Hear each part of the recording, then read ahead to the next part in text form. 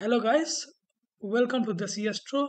So in this uh, Spyder tutorial, you are going that how to run your code in system terminal rather than the Spyder console. Okay, so for doing that, you need to go to your tools, then go to your uh, preferences and then go to a run.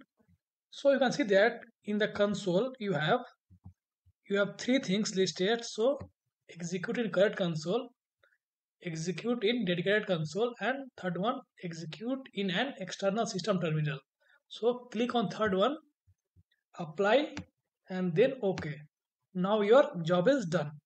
Now run the code and see the difference okay so your terminal is open and the code is uh, run here.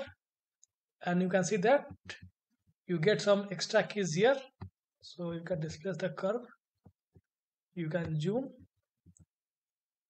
You can save the plot from here. And you can also mark the axis and also you can control the layout of this plot this is your advantage of running in the system terminal.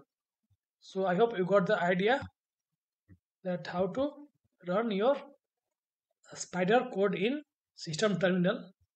So thank you